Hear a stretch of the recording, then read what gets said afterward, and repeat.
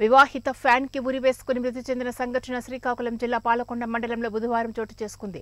వివరాల్లోకి వెళ్తే నగర పంచాయతీ పరిధిలో గారమ్మ కాలనీలో నివాసం ఉంటున్న ప్రియాంక అనే వివాహిత ఇంట్లో ఫ్యాన్కి ఉరి వేసుకుంది.